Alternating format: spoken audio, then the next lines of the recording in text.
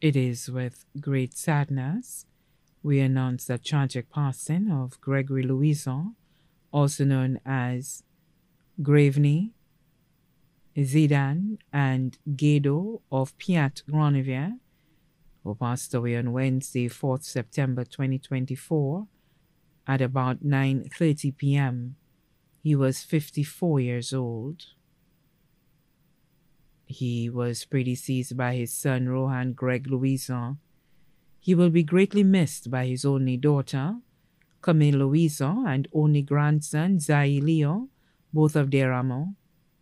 The funeral service for Gregory Louison, also known as Graveney, Zidane, and Guido, will be announced in a subsequent broadcast. The body now lies peacefully at Crick's Funeral Home Limited, Vidbotai. May he rest in peace.